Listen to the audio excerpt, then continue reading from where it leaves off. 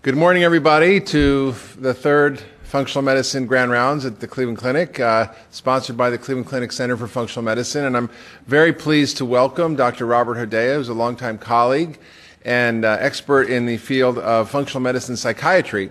And he's been um, practicing for over, I don't know, decades. 60 years, no, he's 107. It really works well, functional medicine. And uh, he's actually a clinical professor of psychiatry at Georgetown University Medical Center, where she's been teaching courses on affective disorders, cognitive therapy, psychoneuroimmunology, and endocrinology. He's a faculty member at the Institute for Functional Medicine and a founder of the National Center for Whole Psychiatry in Chevy Chase, Maryland.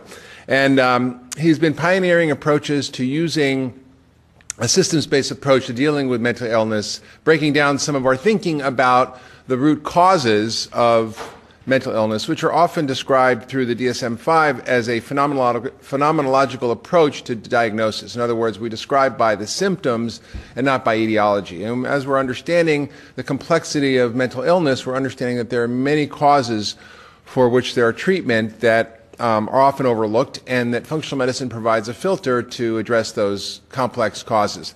So, uh, welcome, Dr. Hedaya, to Functional Medicine Grand Rounds.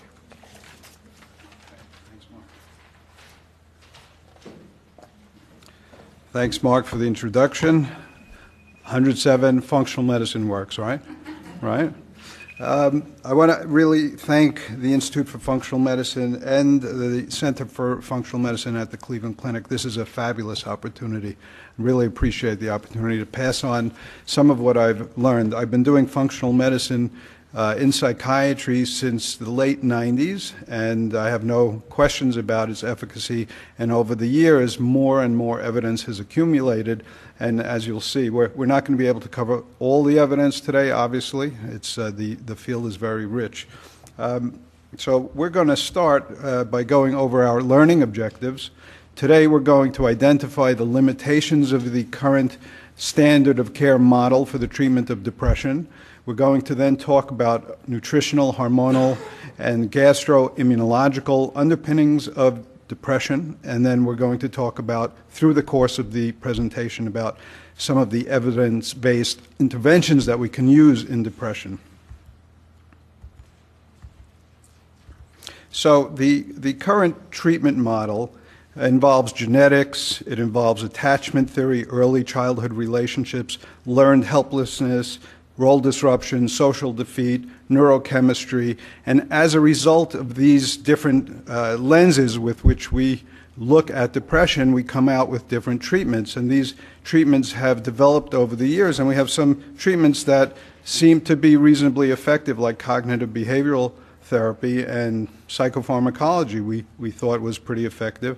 And, uh, but the question now that I'd like to first address is really now that we've been doing this for at least two decades and really more, how effective is the current treatment model? That answer began to trickle in in 2007 when the STAR-D trial, which was sequenced treatment alternatives to relieve depression, when that was published in 2007, it was pretty much a shock to the psychiatric community. And what they found, what they did, first of all, is they tried to mimic a real life clinical situation. So people come into the clinic and they get treated for depression, and they'll be treated with a medication, and if that doesn't work, then you'll add on another medication, or you give them psycho, uh, cognitive behavioral therapy. If that doesn't work, you might add another medication from a different class. So if you're using an SSRI, you might use instead of a, a serotonergic medication, you might use a noradrenergic medication. And then the last step might be that you would add two medications. You might augment with lithium or thyroid hormone. So that was the STAR-D trial, very uh, good attempt to mimic what happens in the clinic. And it was about 3,600 people, 24 centers, a very well done study. And the results were that only 50% of the people treated with the standard model had a remission of their depression, and 50% of those relapsed within a year. So we were left with 25% had long term remission rate with the standard of care model. That's remission, that's not recovery. Remission means that if your, ha- let's say your Beck depression inventory is 30, and it normal is under 10. So if you're 30 and you go to 15, you're considered to be someone in remission, even though you still have a low grade depression. That's remission. It's not full recovery. So the remission rate is 25%, full recovery rate is lower.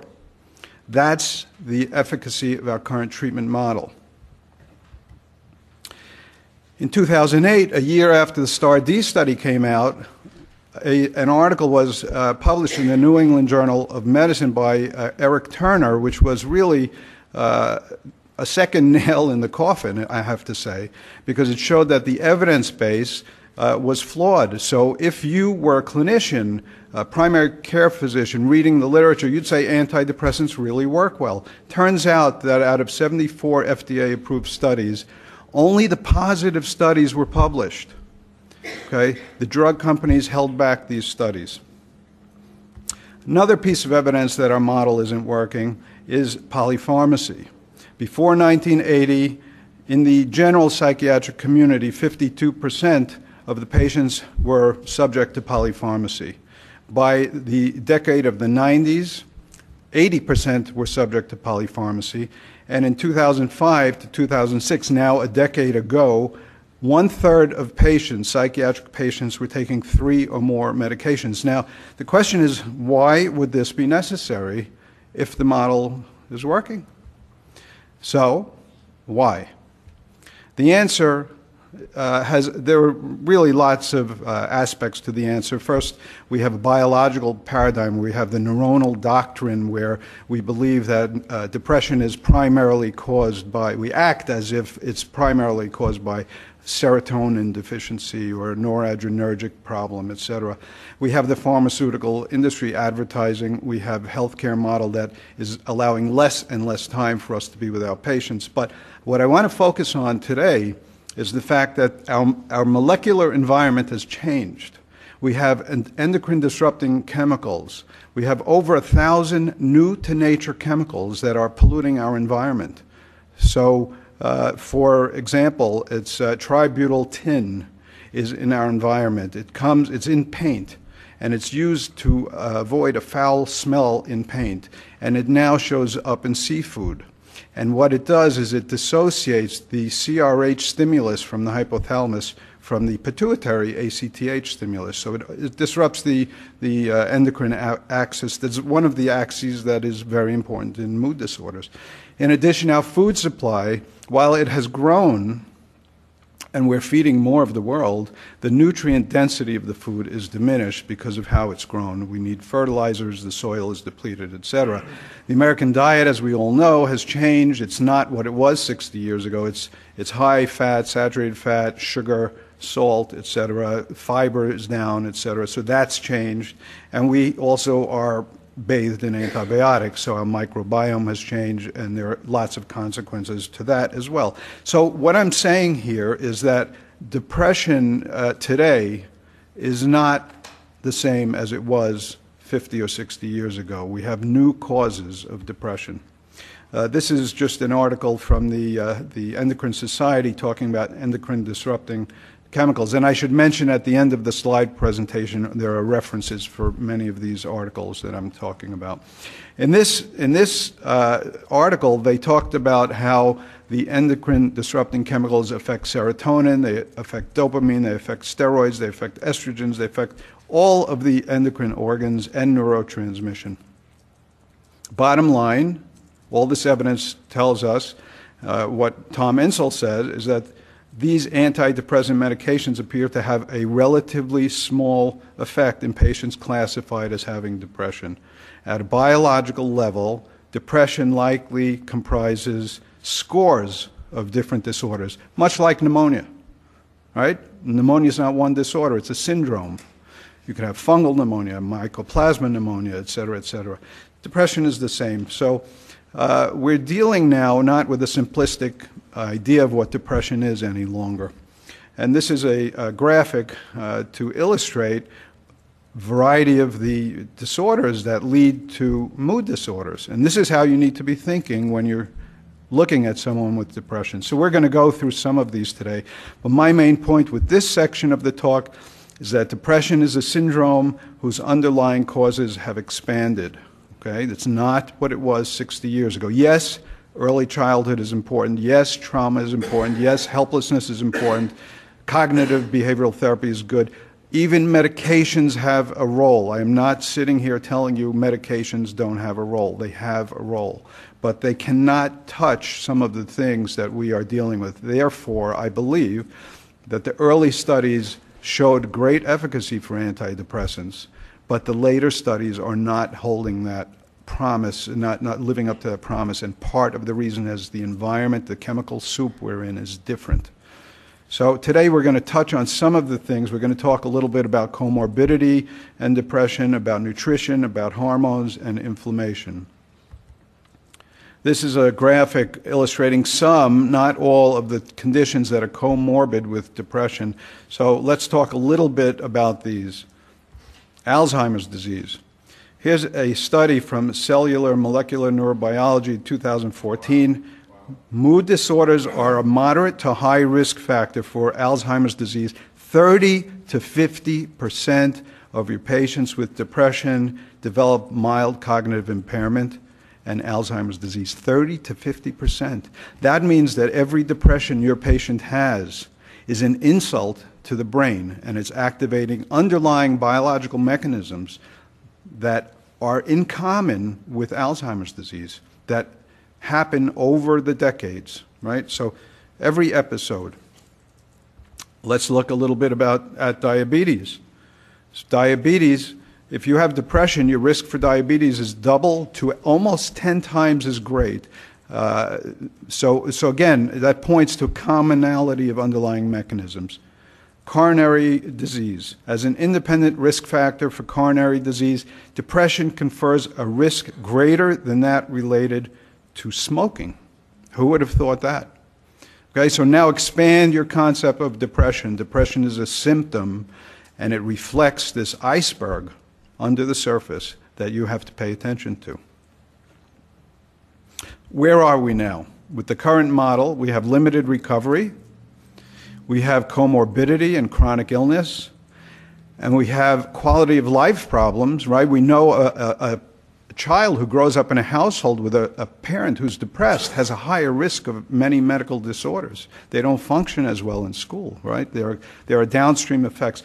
And we have a cost crisis, right?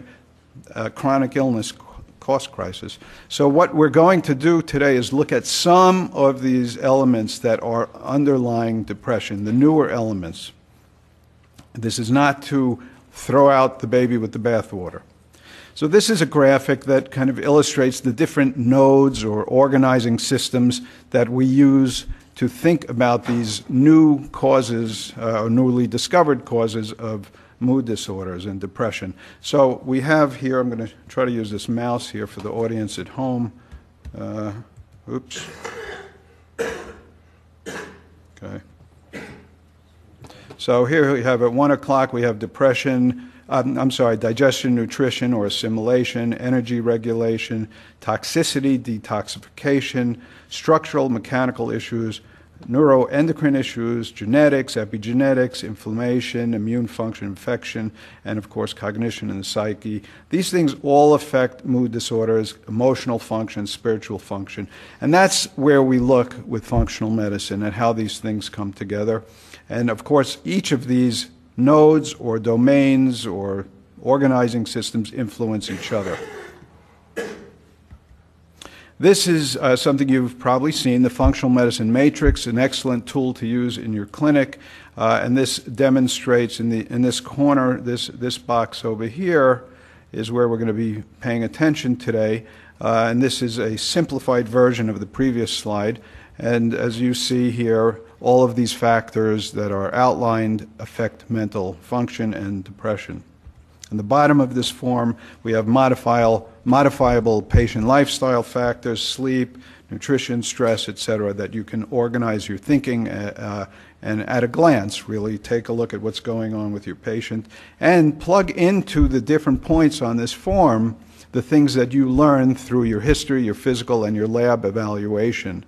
Uh, so that you know what systems are primarily involved. And we'll be doing that with the cases here today. So let's start by talking about nutrition. For those of you who are interested, which should be all of you, uh, nutrition affects brain function. This is a paper, it's actually a two part paper uh, published in the J- Journal of Nutrition, Health and Aging in 2006 on the effects of nutrients on the structure and function of the nervous system. Excellent review paper for people who are interested.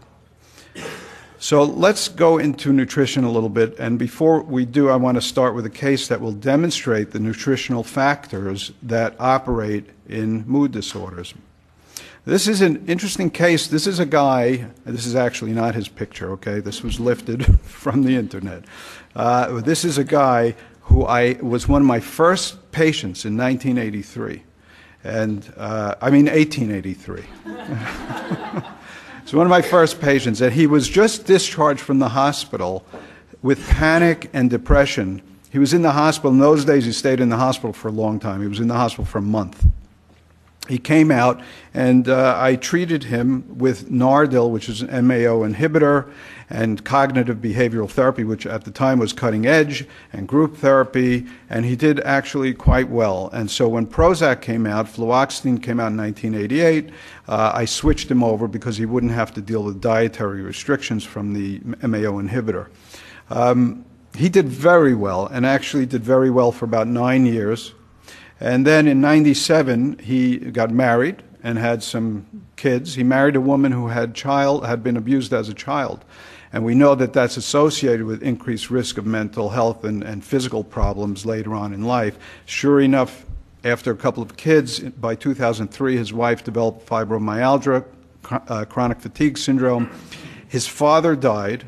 He was a chef. He had to leave his career he had to uh, go into his father's retail store and take that over, and he had to take care of his mother, who was actually a little bit bipolar, and uh, basically his life had turned upside down. So, what do you do in a situation like that? You stress eat, right? Twinkies, they're very good, right? They so, they're very good. this is what he did. So, what happened? By 2005, he had gained weight, he had reflux. Uh, so he went to his primary care physician and put him on omeprazole. Since the, since the omeprazole relieved his symptoms, he could continue to eat, and he continued to gain weight. By 2007, he had weight gain and continued, and he had metabolic syndrome. And he was now dysthymic. He was beginning to have some of his depression. By December of 2008, his panic attacks started to come back and his depression worsened. And now he insisted that he had Prozac poop out. How many of you remember that? Right? He was sure he needed another medication, but having been working in functional medicine at that time for almost a decade, I knew that if something is working, medication is working for all this time, it doesn't just stop. There have to be other factors. So I was unwilling to go on the medication merry-go-round with him. So now I'm going to put a pause on this case and we're going to talk a little bit about nutrition and depression and some of the evidence that we have that it's relevant. And then we'll come back to this case after that. Uh, just to show you, this is how I uh, populated his, this is actually partial, but this is how I populated his matrix. You see under the person, he's a chef, he had to become a retail store owner, he had panic, anxiety, dysthymia, and uh, when I first evaluated him for this deterioration, he had insulin resistance and metabolic syndrome. hemoglobin A1C was 5.9. And he had GERD, Prilosec, and uh, then I put psychosocial factors down there. So this is where we're looking on the, the functional medicine matrix. And here's what we're going to focus on today. Let's start with tryptophan and tyrosine. Now, we're not covering macronutrients, which are also very relevant in mood disorders and mood uh, stability. Uh, we're going to focus on some of the micronutrients uh, today that, that are useful and there's good evidence for. So let's start with tryptophan and tyrosine. Uh, there are studies called tryptophan depletion studies and tyrosine depletion studies. And what they do, let's say they take 100 people who have responded to SSRIs. Um, and they put them on a liquid diet, and it's double blind, randomized, placebo controlled studies, and been repeated many, many times. They put them on a liquid diet, and they take tryptophan out of the liquid diet. On the fourth to sixth day, 60% relapse into depression. They haven't changed anything. Okay? They put it back in blindly, double blind, I should say. Four to six days later, they pop out of the depression. So that tells you two things. One is, and we're not going to talk about this, how come only 60% relapse? What's going on with the other 40%? That's a separate story. But that tells you that if you don't have the raw materials to make the neurotransmitters, like tryptophan, you can't have a response to the medication, right? This has been repeated over and over. Now, if you're on an SSRI, you take tryptophan out, that's what happens. If you take tyrosine out, nothing happens. If you're on Wellbutrin, bupropion, and you take tyrosine out, same thing happens, but if you take tryptophan out, it doesn't happen. Okay, so we know raw materials are necessary, so that there are many raw materials that are necessary. We're going to talk about some of those. And I should also say that there are lots of reasons why tryptophan might actually be low. It could be your diet. It could be you're not getting enough protein. It could be you're not digesting your protein. Maybe you're on a proton pump inhibitor. Maybe you're 60 years old, you're not really making the digestive enzymes. Maybe you have bacterial overgrowth of your small intestine. Uh, maybe you are absorbing the tryptophan, but is being shunted down a different pathway so that you really can't use it. And we're going to talk about that. Lots of reasons, but you need adequate tryptophan to go down into 5-HTP, which goes into serotonin, which then goes into melatonin. That's essential. Okay, uh, omega-3 fatty acids, in particular EPA, eicosapentaenoic acid, that's what you need to give to every patient who has a mood disorder. Okay, not, not really a question. Um, the evidence is very strong. Uh, actually, just in 2016, in June, there was a, uh, a review article in the American Journal of Psychiatry reviewing uh, the adjunct, adjunctive treatments for mood disorders, and EPA, eight randomized controlled studies, double blind, show a significant effect size. And the, the remember, it's EPA, not DHA. Okay, it's EPA. Okay? EPA uh, actually just last week, another study came out that said uh, the actual most effective dose is 1.8 grams per day. This review that you have up on the screen says it's between 1 and 2 grams. In the old days, people said it was as much as 18 to 20 grams a day. We now know that's not true. So about 1.8 grams of EPA per day. It's a slam dunk. Okay? It's got to be. Now, Another slam dunk is vitamin D and depression. Meta analysis of all studies that were without flaws showed a statistically significant improvement in depression with vitamin D supplements when it's needed. You don't just throw someone on vitamin D, you have to measure their level, and then you have to follow up. After you give them their vitamin D, you follow up. But this is the floor. This is necessary is may may not be sufficient. You don't say, "Hey, you got depression. Let me give you some vitamin D, and then come back in six months." But you make sure the vitamin D is is in. So that's a slam dunk. What I want to talk about now uh, is minerals and depression, and in particular, I'd like to talk about zinc and copper because uh, I think there's a very good database here. Uh, it's important to recognize that zinc and copper are related to each other, right? Inversely related. The higher, more zinc you take in, the lower your copper levels go. Um, I'm not going to talk about iron, calcium, magnesium. They clearly play a role in mood disorders, but we have limited time here. So let's talk about zinc. World Health Organization estimates one third of the world population is deficient in zinc. Now, it's also been established that lower serum zinc is a marker for treatment resistance in depression, and it also relates to the inflammatory, the degree of inflammation in that illness. It's important also to recognize that there are four randomized trials that show that zinc is an effective augmentation strategy for depression. Okay? And we'll talk now in a, in a minute about why that is. But don't think of zinc again as treatment for depression, but as augmentation. Right? It's necessary, not necessarily sufficient. One of the points I want to make is that uh, even if you're eating a diet that has adequate zinc, when you go into adolescence, the bone, you're growing. Bones grow, connective tissues growing. The bones require zinc. The bones take the zinc and get the zinc before the brain does. And so what happens is in adolescence with zinc deficiencies, you'll see normal growth, but you'll see abnormal behavior. And this has been replicated in animal studies, but also some human studies. And and also in the studies, I've, what I see in my office. So, uh, zinc in adolescence, that's a, a, population very vulnerable, as well as the population that has infection and inflammation. So, how does zinc work? Well, first of all, it's an NMDA agonist, so it helps, uh, it has an influence on the balance between GABA, which is a calming neurotransmitter, and glutamate, which is an excitatory neurotransmitter. Second, zinc regulates a gene, the TNF alpha gene, the response of that gene to lipopolysaccharide. Lipopolysaccharide, as you may know, is the envelope of bac- pathogenic bacteria. All right? And that's what makes you sick. When you get a cold, and it's not a virus, but a bacterial infection, and you feel sick, tiny amounts of lipopolysaccharide will make you feel sick.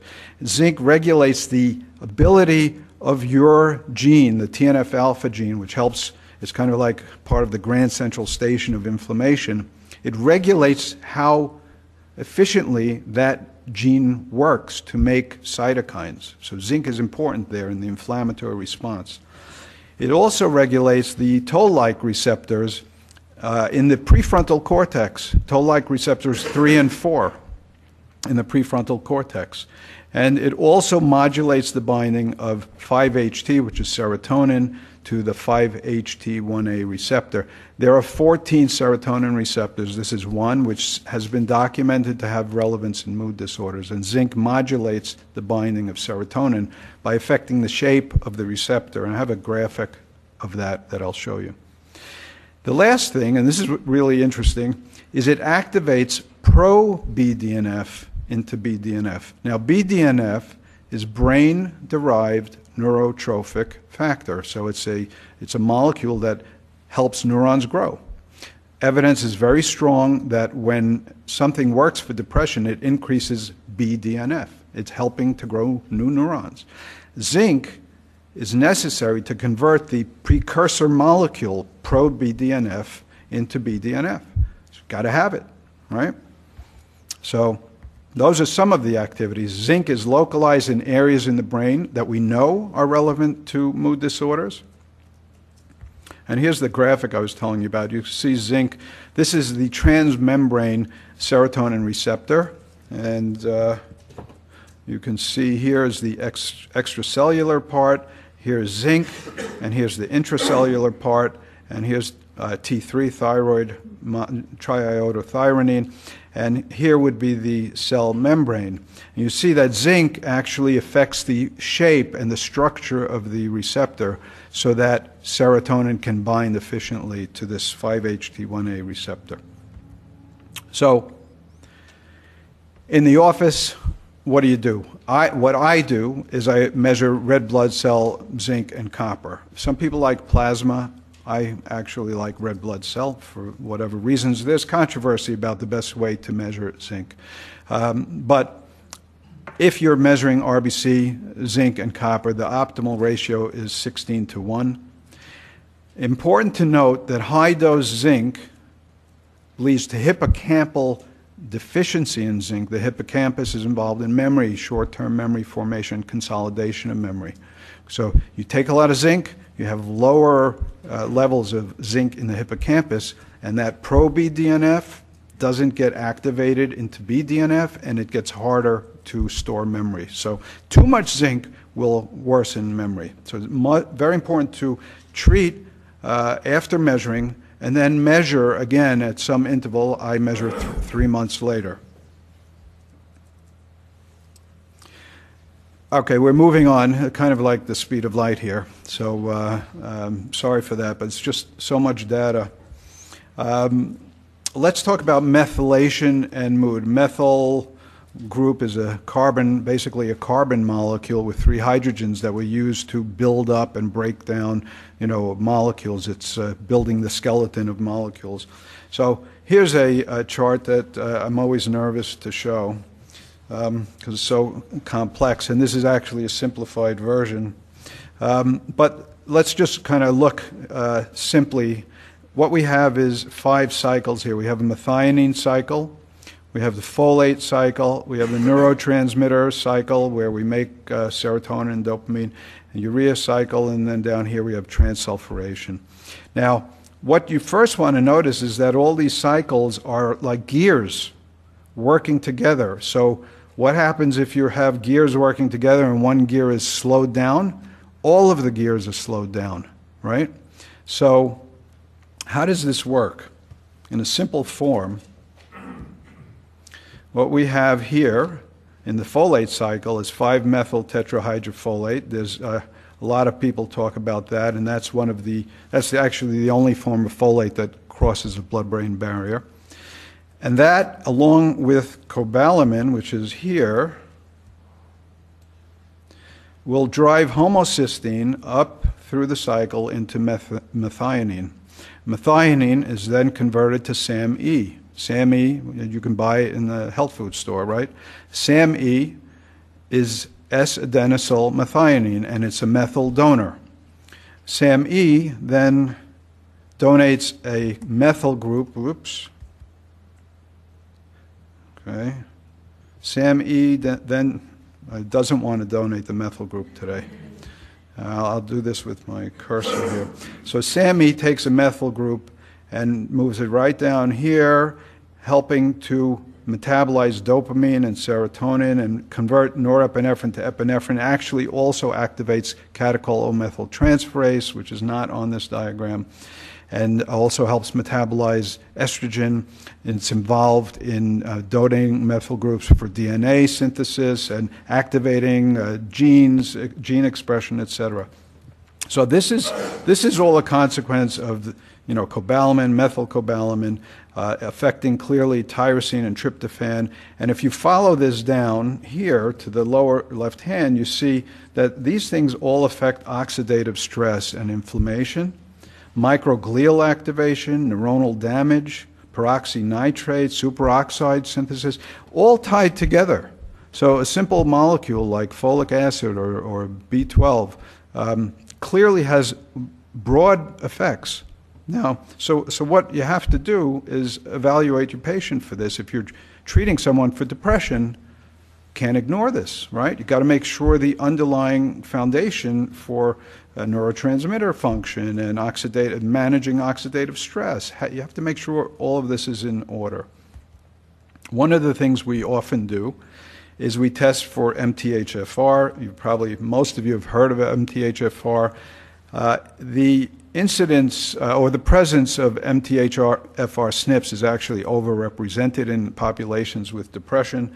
Um, in the general population, we have 24% of the population is homozygous for this SNP. So that means their, uh, their efficiency with which they can use uh, uh, the enzyme that with, with which the enzyme can metabolize folate is about 24%. If you only have one SNP in the MTHFR, it's about 66%. So Thinking about the gears that we just looked at, you can see that this will have some effect on neurotransmitter production, simply obvious.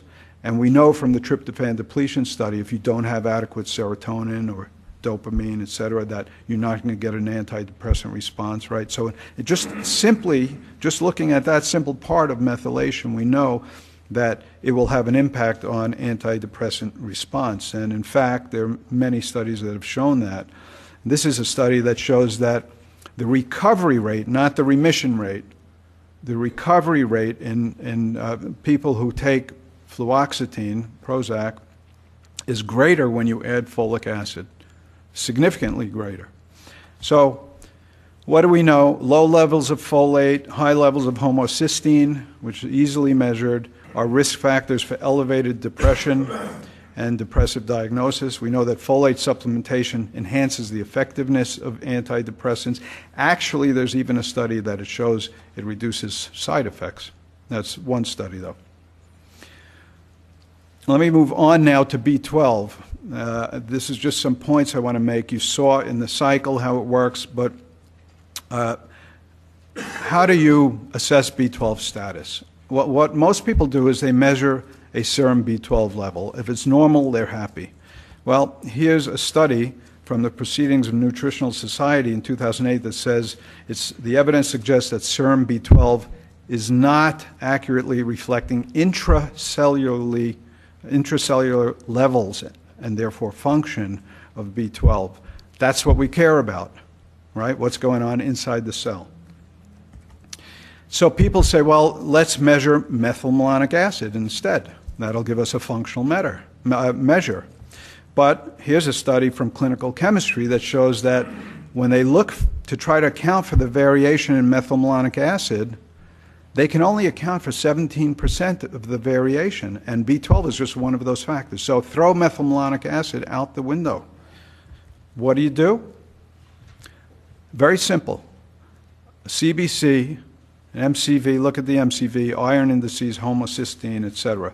So what you're looking for is obviously a macrocytic anemia with B12 deficiency, but the macrocytosis can be hidden by iron deficiency right? So that will cause a microcytosis. So you might be left with just an anemia that's normocytic. So as the MCV veers upwards of 90, which is the, the mean or the median, you're going to suspect uh, a B12 issue. However, you have to also look at iron to see if it's masking. And of course, you're measuring homocysteine, looking at meds that they might be taking that might be playing a role. Uh, autoimmunity, do they have pernicious anemia? Is that possible? Are they over 50? As you're over 50, your parietal cells have more difficulty making uh, hydrochloric acid, intrinsic factor, so you can't absorb it as well. Do they have other factors? But, but the, I would say that these four blood tests are very simple, and if you look at them carefully, you can have a dynamic assessment of whether someone needs B12. So the things that I've mentioned are not without risks, and I encourage you to just read this slide over. Uh, you know, just as an example, SAMe can cause switching. You have someone who you think is just depressed, they can switch into hypomania. Or if you use SAMe with someone who's on an antidepressant, they can develop serotonin syndrome. Um, if you use tryptophan in someone who has inflammation, you can make them feel really bad you need to use 5-HTP. We'll talk about that. Excess vitamin D, kidney stones, etc. So look over this slide uh, and, and know that everything carries its risks. So let's go back now to my first patient. I was able to convince him not to go on the medication. Merry-go-round his MCV was 99. I did a functional test of B12 deficiency. His homocysteine was elevated at 14.4. I gave him methylcobalamin IM three times a week for a while. His panic attack stopped within weeks. He agreed to work on his metabolic syndrome by August, about eight months after we started the treatment. He had lost 39 pounds. Hemoglobin A1C had dropped to 5.6. His lipids were still elevated. He, he, he uh, was exercising. And most importantly, He's still taking Prozac and he was doing fine. Okay? We didn't have to do the whole medication switch. Let's move on to hormones. And let me say, you don't have to remember all this, okay? This is just, this is just a, a series, you know, a survey. We're just kind of taking a survey, all right? Hormones, every hormonal system affects the brain. The brain is, in, is a hormonal organ, okay? Um, so this is where you would put it on your matrix. You would kind of put those the, the symptoms and signs here. Here's a case. This was a fascinating case for me. this was a woman who was highly functioning. Uh, she was actually one of the top, youngest female executives in the country. Very high functioning woman, great education. She got pregnant, had a kid, and shortly after she gave birth, she went into depression, but she didn't know it was depression. So for about 18 months, she had no treatment. Finally, after 18 months, she had a panic attack. She ended up in the hospital. Diagnosed with panic disorder, unipolar depression. Later on, she was all, uh, diagnosed with rapidly cycling bipolar disorder. Okay, so the, the, the diagnosis evolved. And in her chart, it said borderline hypothyroidism not requiring treatment. She was given a series of medications, and she was also uh, given ECT, shock treatment. And she ended up, when she came to see me, she was on Clozaril, which is an antipsychotic, and it's the only one that's been shown, aside from lithium, the only medication shown to reduce the risk of suicide. So she was on Clozaril, an antipsychotic. Um, she was hospitalized four times and uh, for suicidal ideation. Terrible. I mean, can you imagine the fall from where she was, uh, the devastation in her life and her family? Uh, she had a strong family history of affective disorders, alcoholism. Her grandmother had ECT. Um, so, borderline hypothyroidism not requiring treatment. Uh, when I saw that, I have to admit I got a little agitated. Why? Because it's very clear without optimal thyroid function, mood disturbance, cognitive impairment, and other psychiatric symptoms emerge. You cannot, in a patient who's otherwise well, fine, you want to watch it, whatever it is you want to do. In a patient with mood disorder, you cannot ignore a borderline TSH or borderline hypothyroidism. So the question is, what's the optimal TSH? Well, the, the NHANES study looked at 16,500 Americans without thyroid disease. And the optimal TSH in the U.S. from 1988 to 1994 was 1.5. Okay, that's your target. The reference ranges go up to 4.5. If you have a patient with a mood disorder, you can't allow that. Now, of course, you have to go to a physical, history, etc. But antenna have to go up as you move away from 1.5, as you go north of 1.5. Why is it so important? A lot of reasons, but this is the graphic again that I showed you before with uh, the T3 uh, highlighted, and T3 affects the function of the serotonin, 5-HT1A receptor inside the cell. Okay? We can't measure brain levels of T3. Can't do it. We have to rely on history, physical, and uh, lab results. So you can't ignore that. The other thing you can't ignore is estrogen and depression. Estrogens affect all neurotransmitter systems. And uh, this is a study where they looked at the efficacy of uh, bioidentical estrogen for women who had perimenopausal depression, and it was very effective, as effective as antidepressants. Now, I don't know what to make of that because we now know that antidepressants may not be so effective, but, uh, but still had, seemed to show some efficacy. Let's go to the HPA axis. This is very interesting. Uh, uh, this was a study by Phil Gold from National Institute of Mental Health who showed that, broadly speaking, depression, the HPA axis function in depression falls into two different categories high cortisol and norepinephrine and low cortisol and norepinephrine. So I often joke that if I had to go to a desert, desert island with one test for depression, it would probably be this. Okay? And you could see on here, let me see if I can get this going. This is the normal diurnal variation. Your cortisol is high at 8 a.m. and it goes down through the day. This is a case of a patient with agitated, melancholic depression, you can see the cortisol is very high. That's one type of HPA axis response in depression. Another type is where the cortisol is actually very low. So this is very important that you know. You can't just throw, some people use phosphatidylserine in depression. You can't just throw phosphatidylserine at people with depression because it lowers cortisol. Okay? You need to know what you're dealing with. So Back to our patient here and the matrix. Uh, we populate the matrix. She had rapid cycling. She had P- history of PMS. Beck depression inventory, which should be under 10, was 29. She was hypothyroid. Her adrenal output was low. Insomnia, migraines. TSH was high. Free T3 was low. She had some nutritional deficiencies. So we started out, her Beck depression inventory was 29. We added thyroid, corrected her diet, supported her adrenals. A month later, added some nutrients and got her off caffeine, got her exercising. Then we added melatonin in the third treatment visit, and we had at that point done an, a female hormone profile looking at her progesterone and estrogen through the cycle. And based on that, I added progesterone 100 milligrams BID, days 21 to 25. And then days 26 to 28, I added 50 BID, and then we stopped. And in January, we were beginning to taper the Clozaril as she was sleeping better. And by February, her BDI was down to 17. She told me how much the fish oil was helping her. And by June, her BDI, her Beck depression inventory, was normal. Okay? So here's this woman whose diagnosis was delayed by two years and nine months and spent $53,000 in hospitalization costs and medication costs and psychiatric visits because of the delayed diagnosis. It's something that's not uh, tolerable any longer.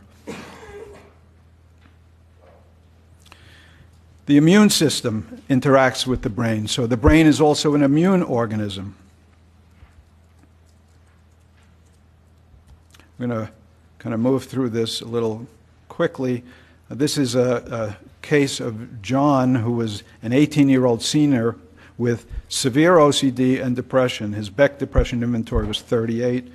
His Yale Brown obsessive compulsive scale was 29. He was depressed, refused medication. He had had therapy.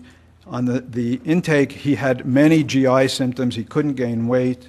He had chronic headaches. His right index finger was bent. He hadn't, he hadn't straightened his right index finger in two years because he had a superstition that if he straightened it out, something bad would happen. So it was cyanotic. He had, uh, he had actually lymphadenopathy, cervical lymphadenopathy, uh, and uh, so there was evidence at the first visit of oral thrush, cervical node, sinusitis, and he had lots of GI complaints. The science is very clear that inflammation in the periphery affects the brain by activating microglia, and it steals tryptophan. Remember, we talked about tryptophan depletion. This inflammation steals tryptophan, it activates indole dioxygenase, and it steals tryptophan to go into quinolinic acid so the tryptophan does not go into 5-HTP and then serotonin and melatonin. And I have, you can see that on this slide here, that the, the uh, tryptophan, which is right up here, should be going down this pathway primarily into serotonin and melatonin. But when you have inflammation, it goes down this pathway down here to quinolinic acid, which activates NMDA, and releases glutamate. So now you have this glutamate storm with infection. And think about your patients with infection and inflammation, how wired they feel sometimes. They, they're tired, but they're also wired. And they're depressed and they're irritable. Their serotonergic function is depleted. And they have quinolinic acid. And you can measure this in organic acid testing. I counted at least nine evidence, uh, lines of evidence supporting uh, inflammation as a contribution to depression. And obviously, this is not something we cover in one day, but there were a couple of studies I wanted to point out. This is a study uh, from JAMA Psychiatry 2016. This is a study in 7.2 million people in Denmark where they showed that 10% of the suicides in this population were attributable, attributable to infection and what they did is they found that people who had infections and went to the hospital for infections had a higher likelihood of suicide. And it was a dose response relationship. The more infections, the longer your hospitalization, the higher your risk of suicide. And they, they removed the confounding variables. It wasn't like, well, they had psychiatric history. They removed those. So 10% of suicides appear to be caused by infection. So the answer is give everyone NSAIDs, right? Wrong, okay? Here are 14 trials that show NSAIDs and cytokine inhibitors actually will reduce depressive symptomatology, but I say to you that first, do no harm because those are drugs with problems. Let's get to the root of the problem. The root of the problem is where is the inflammation and the infection coming from? Is it stress? Or is it mold and toxins? Or all the things in between? Is it in the gut? Is it in the lungs? Where is it? You have to find it. When you're treating depression, you look for the source of the inflammation. So we'll go back. Uh, one more thing here, and then I'm going to wrap up. Is the GI tract and the gut microbiome clearly connect with the brain? There are multiple pathways by which this happens. And I'm going to skip ahead to one slide that, frankly, when I read this, I had a chill go through me. Okay? This is a study in rats where they force fed diabetic rats glucose, and then they took three strains of their, of their microbiome out, and then they injected them into another group of rats that had a microbiome in the gut that was not diverse, it was very narrow. And what they found is by injecting these three strains, they actually changed the gene expression in the prefrontal cortex that changed the myelination of, of the neurons in the prefrontal cortex. That means that you could have guts, uh, uh, bugs in your gut that are changing how your brain is functioning. Now, we're not at a point where we could say, oh, you're depressed, here, take B. longum's probiotic and you're going to be fine. We're not there. But we are at a place where we know that the microbiome has an effect, a significant effect on people, many people, not all people, but many people with depression. Cannot be ignored. So, just to wrap up, this uh, young man, uh, what we found was his TSH was elevated, but he had five infections, and his serotonin was depleted. It's salmonella, chronic salmonella, Endolimax nana. You could read this, and uh, obviously had lots of GI problems. And what happened basically is over the course of three and a half months, we treated his infections, we removed the offending bacteria, parasite, candida, foods, replaced some enzymes in his gut, gave him probiotics, repaired his gut immune barrier with a medical food product. By his second visit, his Yale Brown obsessive compulsive scale dropped from 29 to 21, and his Beck depression inventory from 38, I think it was, to 19 then put him in exposure and response prevention therapy for his OCD. And by his third visit, uh, he was, his anxiety was almost gone. And by his fourth visit, his OCD was, quote, a million times better, and his Beck depression inventory was normal. And this here is my uh, next to last slide. And this, you know, this is just kind of a summary. When I started doing functional medicine, I was so blown away by the effects in my patients uh, I'm a psychopharmacologist by training, and what I noticed is I wasn't having to go on the medication merry-go-round. Well, let's try this, let's try this, let's combine, you know, that whole thing. Uh, so I thought maybe I have selective attention to the positive, right? I'm doing all this stuff, I'm excited about it. Maybe I have selective attention. Well, I decided to do a retrospective analysis of my previous 23 cases of treatment resistant depression. Now, these were consecutive cases, I didn't cherry pick. 23 consecutive cases. And what I found is that the mean Beck depression inventory when they came in was 34, normal, under 10. These are moderate to severe depressions. And by 10 months, everybody, except for one outlier, was down to 7.6. Everyone was normalized except for the one. I did not have to change medications. Okay? This is a powerful model. Now, you see, it took 10 months. An antidepressant, if it works, takes three weeks. But it takes time because you have to change lifestyle, you have to change diet, you have to change the hormones, you have to let the body heal. Right? This is functional medicine in action, and this, this method works.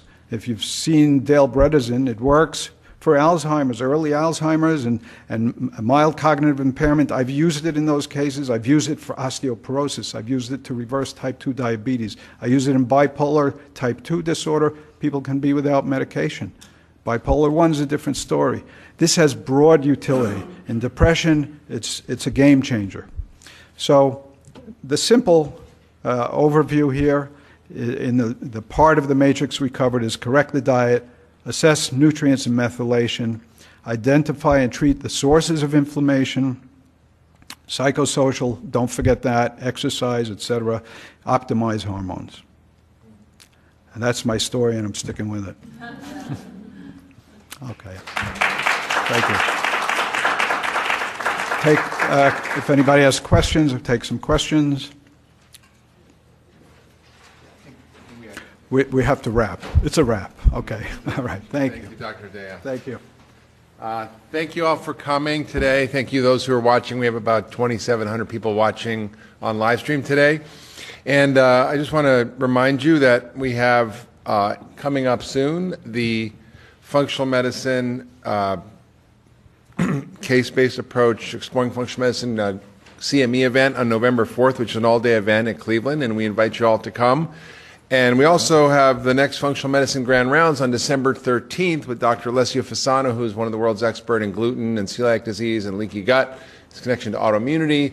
And that's going to be on December 13th at the Center for Functional Medicine, our new facility, in Q2, uh, room 157 on the second floor. So we invite you all to come to that as well. So thank you for joining us. And I think you've done a great job, Dr. Hedaya, and explained us the the multiple causes of depression that may not be immediately evident. I remember a conversation with Thomas Insel once who said the DSM-5 has 100% accuracy, but 0% validity, meaning it describes the diseases by symptoms, but not by etiology. So thank you for illuminating us today. Thank you.